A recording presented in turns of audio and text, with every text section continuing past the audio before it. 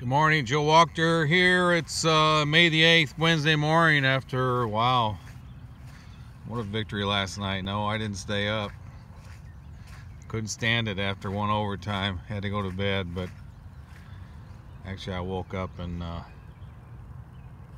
saw the news an hour and a half later and watched the DVR of it.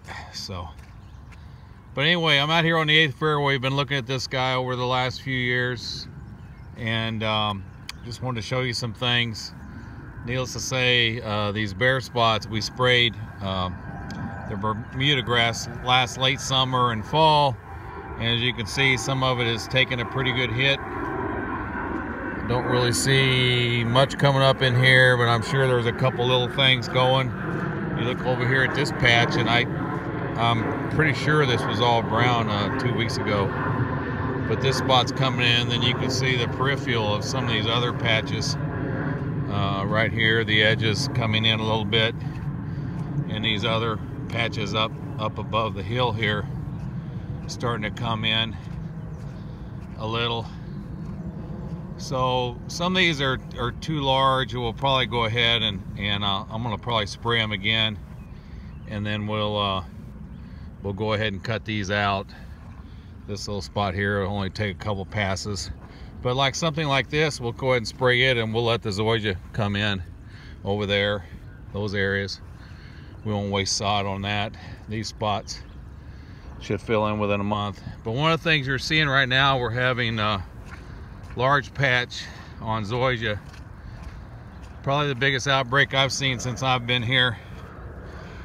Uh, we've been spot spraying and treating this curatively and uh, you know from spot to spot I'm not sure everything that Tom has sprayed but uh, yeah it's flaring pretty good. I don't think this spot was probably sprayed. We've been spraying kind of all over the, the golf course. We've sprayed about two or three acres basically of, of areas. To try to slow it down one of the things we need is some dry weather and some warmer weather. It likes this uh, 60 degree nights and 75, 80 degree days, and it really makes it break out. Ultimately, it's not deadly for the zoysia as long as you've uh, made a treatment to it and stop. It'll usually stop it, but usually the biggest stopping for it will be the change of weather. Once we get up into the mid 80s and we start drying out a little bit, but I want to show you this uh, eighth fairway. This eighth fairway was almost solid uh, baby bluegrass or baby uh, blue Bermuda that uh, the club had put on this years and years and years ago. They got the sod, I believe, from uh, Rams Park and put on this. And then when we converted to zoysia grass, um,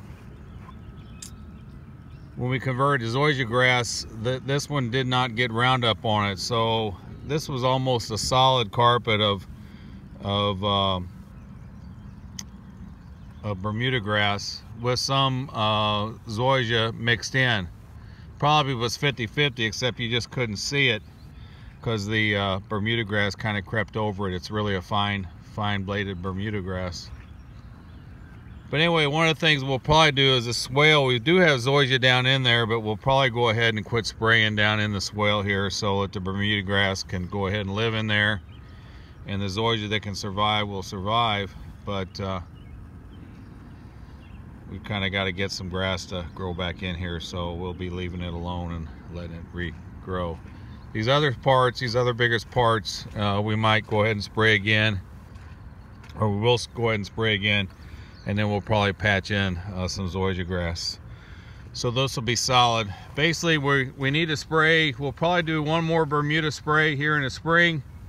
We don't normally do only one, so that way by mid-June or, or so, we've killed what we're gonna kill or suppressed what we're gonna suppress. We've resodded all the spots that we need to resod, and then we're gonna let the Bermuda come back in some areas because that's just what it does that's the thing it do so anyway but we've been so wet that we really haven't had a chance to spray but as you can see the Bermuda here and then the Westwood Bermuda is really coming on in the area so um, we definitely want to be uh, getting on top of it, especially when we got solid areas of, of zoysia grass.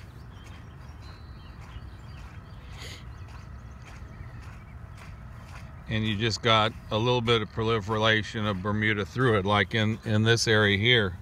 You can see here, this is, they're just little sprigs of Bermuda all through here. But if we take that out, then this zoysia grass will basically assume it, assume the role because it's the dominant grass in this area. So that's what we'll do all over the golf course, probably here in the next week or two when it when it quits raining. But anyway, anyway, that's what's going on today. 63 hundredths inches of rain about 1 or 2 a.m. So we were beginning to dry out. Well, we are wet again. We got the fairways cut the other day. Got most of the rough. We got some areas like over here in front of 7 tee box we're gonna have to start getting weed eaters walk behind mowers and that kind of stuff into we just can't get the big units in there it's uh, been a mess We've got water weeping out of these hills uh, everywhere so it's been a rough rough spring for golf and a rough spring for trying to maintain but more the grass with the sun and warmth is really starting to come the rough as you do well well know is uh, coming on big time. So anyway, kind of a long video. A lot of things to talk about.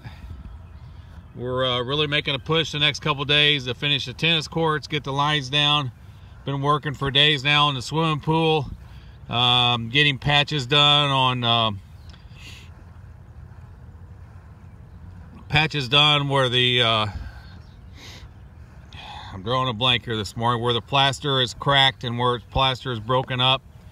Uh, putting tiles back in place, getting it cleaned up. Expecting to put water in it by about Tuesday or Wednesday of next week. So we'll start to warm up a little bit. Uh, spray washing the deck. An awful lot of work going on besides uh, the 100 to 120 acres of grass we maintain all the time. So guys have been really busy on rain days. We've been busy doing other things. So, but anyway, have a great day.